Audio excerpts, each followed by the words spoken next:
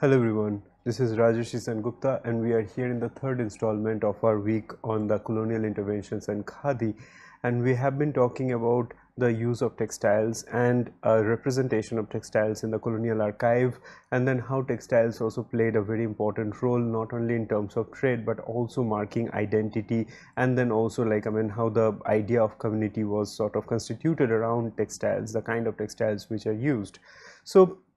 we'll continue this discussion today by starting with some of the albums and then representation of the textiles. So in this discussion we'll be looking at the representation of people textiles and activities these three kind of things. And we'll see that I mean how these three things were interconnected in the colonial archive or the way in which we see that I mean there were particular kinds of archives were created or albums or documentations were created and in which we see that this intertwining of the idea of how textile activities and activities can mean like I mean different kind of actions that can be occupation that can be like day to day activities and so on. And then of course the prime focus stays on people the people whom the uh, the British government was ruling over.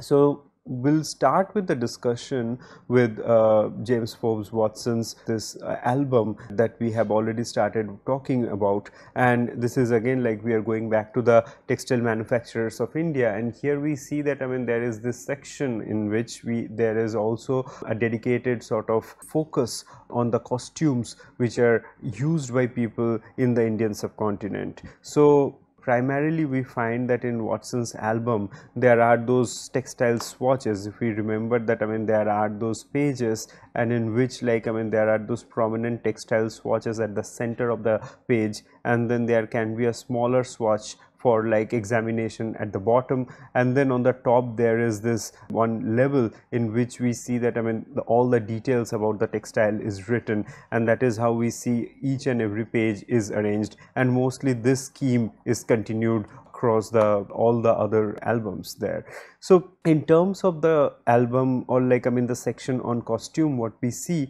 is that this kind of pages in which there are those again this in this rectangular pages four images or more than one images usually we find them to be there. And then the way in which like I mean the images are arranged one can see that these are all uh, images of full size not full size like I mean these are images of human beings and we can see them from head to toe. And the reason for that is actually to sort of understand that what kind of costumes people wear in the Indian subcontinent and by that I do not mean that they just had this innocent curiosity in terms of understanding that how these costumes are used by people but it is also about like what kind of material is there and then what does the material say to us to the readers to the viewers and the catalogers and then in the kind of material in the kind of like i mean the execution of this kind of costumes and everything else they also come back to the idea of this community identity something we find that to be there very much ingrained in a lot of documentation projects that the colonial government had undertaken. And we can we can start talking about that from the anthropological uh, documentations that started from the um, late 18th century and 19th century. We see that a lot of this kind of documentations took place. So what happens in terms of this anthropological documentation that i mean it is a kind of a way to understand the features of people. And by features it can start with like i mean the facial features the color of the body of course the racial distinction a very important part of this kind of documentation and it was a deliberate or perhaps like i mean it's not just deliberate but also it was kind of a strong trust we can find that that the uh, the documentators or like i mean the catalogers were interested in to show the racial difference between the western europeans and the south asians. And that remained as a way for which they could always claim their superiority on the people they were ruling upon. And then apart from the color of the body we also find that particular kind of facial features bodily features and then like hairstyle beard and everything else those things were taken in account. And those could also tell the catalogers about like i mean what kind of people they are looking at. So uh, if we think about the botanical documentations or like the zoological documentations it was very similar to the way in which we also find the human uh, human beings were also documented by looking at the external features. So again we are going back to this idea about reading visually. So that's what the catalogers were doing predominantly that reading these figures visually try to understand that what all kind of visual uh, specificities these figures or like the people they have and why I say figures instead of like I mean uh, calling them people all the time is because that is how they were treated. It's almost like those samples in a lab and then they can be studied uh, minutely and then like their features can be added to the archive that they were creating. And in this case we find that I mean uh, alongside the bodily features the other thing that comes up very importantly is the depiction of textiles and in in this page of this album what we find that there are um, two people in the upper half of this image. And then like i mean these two people they seem to be like i mean in a very similar posture and their turban style and the way they're wrapping their lower part of the body with a lungi or a dhoti kind of attire is also very similar. And then they're wearing a jama on the top of on the upper part of the body and then they have a shoulder cloth with a fairly big shoulder cloth that kind of like I mean covers one of their shoulders and then it also sort of like I mean wraps around their waist. So this is how we find it and then the kind of distinction in color a lot of time the colors which were used there and the lot of time like I mean the way of wearing a turban and then also the kind of patterns and everything else would be used uh, in this kind of costumes would also mean a lot about like what kind of uh, people we are looking at from which community they belong to and everything else so seeing textiles in this case is also sort of like I mean seeing the visible marks of a community in in uh, for, for for the catalogers. So we can see that I mean how textiles were understood in the colonial archives as a as a very important um, aspect of understanding the people. And then in the lower part of the image, we see that I mean there are two figures and uh, one, one person has dyed their beard in perhaps in henna. And that's the reason we see this kind of like I mean this brownish tone in the beard. And then like i mean the both these people they seem to be from warrior clan. And so that's the reason they are carrying either stick or dagger and sword and everything else. So that there we find that the kind of dressing is also different. However this person in the left seems to be definitely from higher strata compared to like I mean the other people that we see in the same album because this person definitely is wearing expensive silk with like I mean perhaps zari borders and that's the reason we have like I mean the golden borders in this shoulder cloth that we see. I mean in all these cases we do see that I mean there is a lower garment except for this man we see all of them they're sort of like i mean wrapping an untailored fabric around their uh, loins. But here what we see that i mean this man is the only person who's perhaps wearing a pajama or trousers. So apart from that what we see that all of them they're wearing a jama and then this shoulder cloth turban and of course a lower garment. And in this case what we see that i mean this old man is someone who's distinctive from the other three people because the other three people seem to be wearing cotton whereas this uh, man in the left lower left is wearing silk. And if we think about the kind of like I mean depiction of people from the court and people uh, who who belong to the commoners realm would be depicted in very different manner if we think about the way in which like miniature paintings and and um, other visual representations before the colonial era uh, would would represent them. So in terms of that we can see if we remember the miniature paintings and so on there uh, we, we see the clear distinction and also like the hierarchy between the people who belong to the court and then the commoners. But in this case what we see that I mean all these people are almost like I mean treated at least on the surface equally and and um, that's the reason we find that it's a new scheme of documentation in which we find that different uh, people from different social strata are sort of like I mean put together in one page. Now, when I say that I mean uh, this this kind of like I mean uh, um, this this seemingly equality or like a neutral way of like showing people is something that is there but we should not mistake that as actually equality or if these people all of them were treated equally that's again the answer would be no. And and uh, in this case if we see that i mean why these people are sort of represented in the same page is is not because of like i mean there is a there is a conscious drive towards showing them on the equal plane but all of them perhaps like there are certain kind of visual features physical features or like i mean in terms of like their community identity and all those things are somewhere or other connected. And that is the reason the catalogers had made the decisions to sort of like i mean put them in one group. So this is how like i mean people were usually um, sort of divided into groups and cataloged in the archives now, if we think about the cataloging of people and professions and of course like I mean textiles, we can go back to like I mean the late 18th century and there we find that I mean certain kind of like I mean documentation was there underway. And one of the very well known folio in which we see this kind of documentation would be there by Francis Balthasar uh, Solvyns and Solvyns album that is called Hindus or like the Hindus which was published in around like I mean very early in the 19th century. I mean of course like I mean the documentation started earlier than that that in the late 18th century. And in this one we, what we see that I mean this anthropological approach or like this ethnographic approach of studying the different communities and their profession how they live and everything else. So those things we certainly see them to be very prominently presented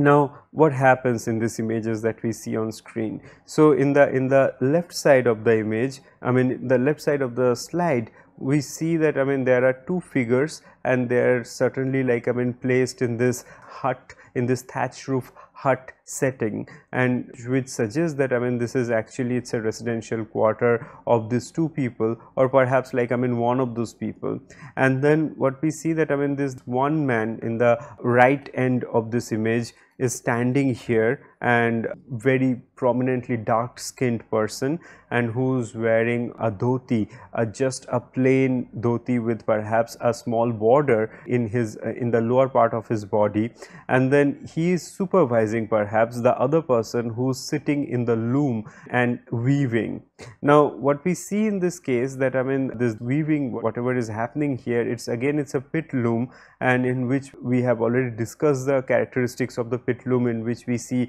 that how the weaver sort of like I mean sits on the ground level and then sort of like I mean his this loom is sort of like I mean spread on the ground and then it sort of like I mean goes beyond the ground the loom structure like the paddles and everything else. And so this is something we see as a very typical depiction of the weavers. And this image is also called tatis. And that that means like i mean tati is the word for um, um, um, the weavers and and of course like i mean as we know that i mean solvyns was there in the bengal province from uh, late uh, 18th century from 1790s to like i mean uh, early 19th century. So during this time like i mean a lot of his documentations were focused on bengal. And and so like i mean this very atypical um, um, i mean very typical way of like i mean making this this uh, thatched hut roof i mean this thatched roof huts and everything else. So all those things we certainly see them to be there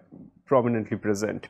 now the other image that we have in the right side of the screen is that sort of like I mean looks into the professions of the Kumars. And Kumars are the ones who are as we know that I mean they are the ones the potters. But in this case it seems like they should be spelled as Kamars which mean the blacksmiths or the metalsmiths. And so in this case we certainly see that I mean how there is this man who's standing in front of the hut. And in this case the hut is different from the one we see in the left side So the one in the right side is much more open and this man who's sitting in the background and is sort of like I mean blowing air into the fire so that like I mean he can perhaps like I mean make the metal ready to be beaten and made into whatever shapes that they want. So this is the process and here we also see that I mean vessels full of water those are kept which as we also know that I mean those things are indispensable for the work of the metal smiths. So this kind of like I mean activities we find them to be there represented in the colonial documentation and these images were made in etching technique and then after they were compiled into folio they were also hand painted. So, so the colors that we see on these etching prints were added after these images were produced. So in these two images what we see that that uh, craft plays a very important role that different kind of this occupation when we talk about the occupational sectors so we see that i mean there are those unorganized occupational sectors that uh, they have documented. And this is definitely not a very organized sector. And as we know that even today a lot of the craft sectors in our country remains uh, sort of like I mean decentralized. And and that is perhaps like I mean that that adds to the diversity of the craft production that we have in our country. So this is something that they were also interested in the colonial documentators. And they sort of like I mean focused on this. And the focus on that is not just in terms of like understanding craft or profession but it is also in terms of like i mean how the making of the community that remains around making of craft objects. And that's the reason like i mean as i have already mentioned that uh, the british administrators wanted to sort of like i mean put people under different categories that this is one group of uh, people and and they, they specialize in particular kind of craft making or particular kind of skill and then like i mean then there are the criminal groups and so on. So if this is the kind of like the uh, way in which uh, uh, documentations were done cataloging was done so like making of the community is something we can understand that was also very much uh, intertwined with the making of craft objects. And that is the reason like making this this idea of a process is something that has been depicted in these images. And we can we can also see that i mean even though there is a way in which like i mean the the making is emphasized in these images but then the the prime figures who need to be sort of um, uh, who who grabs the viewer's attention as soon as we look at these images they are the ones this this men or like women we see them to be like i mean standing firm or like sitting and sort of like i mean uh, um, uh, you know they, they they occupy a very important role in these images either standing almost like centrally in this image or like i mean sort of making this l shaped compositional arrangement in in which like i mean the stability of the composition sort of like is reliant on the images or this prime images who are on focus. So this is how we find that there is this two things which are happening simultaneously. One is like for this prime figures who are there for the people to read them, their body, the textiles they are wearing, their physical features and everything else to understand that this is the community that they are talking about. And then the identity of the community, the process and everything that sort of plays out in the background for people to have more context on them. So this is how like the idea of community, profession, textile, they become intertwined in this kind of archives. Now the other aspect that we also see that I mean there are those specific ways in which like I mean draping and everything are done and that is something we find that to be there very it's significant in Solvyns' documentation and the other colonial catalogers documentation as well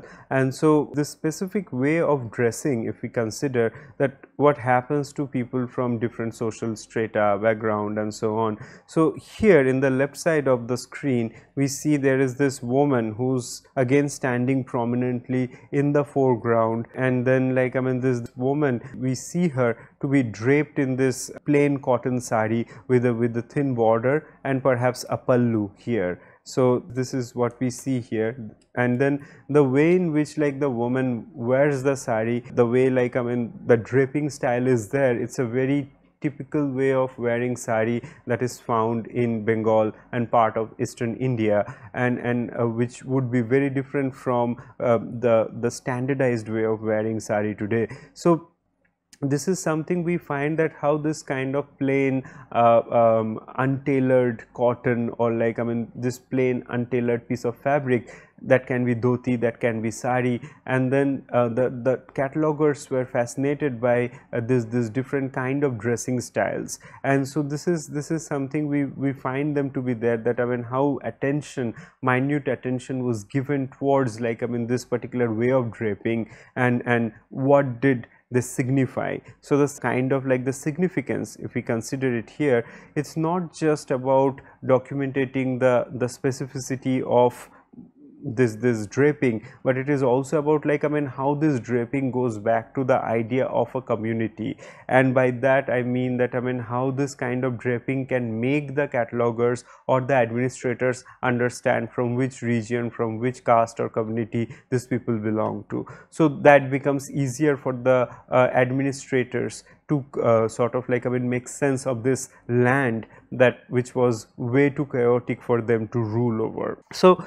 we see that I mean this person who's standing prominently with a pot of water on her head. So she is there by a water body and then on the and behind that we see that there is this kind of this gateway and presumably it's a temple complex and then here we see the temple towers and that is the temple tower of Kalighat temple in Calcutta. So, Kalighat temple being perhaps the foremost important temple in Calcutta and so this here what we see that I mean what kind of like I mean activities that take place around the temple and so people are taking bath in this water body it is perhaps this is this canal or the river Adi Ganga and then like I mean after taking bath in the river they go to the temple and pray. So, this is this is the usual like I mean the process that that sort of like I mean takes place here. So, in this case we do not really see a particular kind of um, um, livelihood or profession or occupation is shown,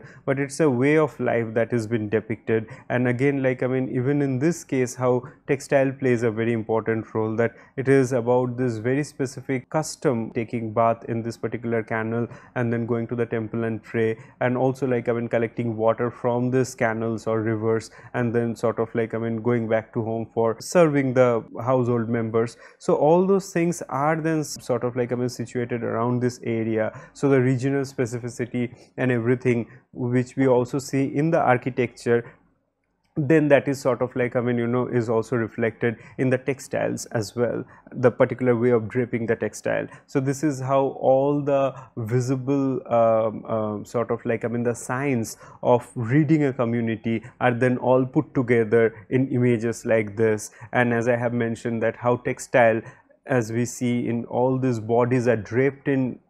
textiles. So, how textile play a very important role in sort of like marking their identity. Now, the other image that we have in the right side of the screen and that is called nautch or nautch and this is usually the courtesans that we see who would be there in the of the zamindars and it's not just there as a everyday activity, but they mark like special occasions in which this the courtesans would be called to the wealthy people's houses